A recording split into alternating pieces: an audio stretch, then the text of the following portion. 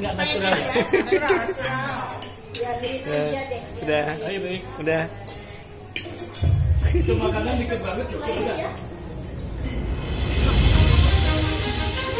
Ya, aku mau.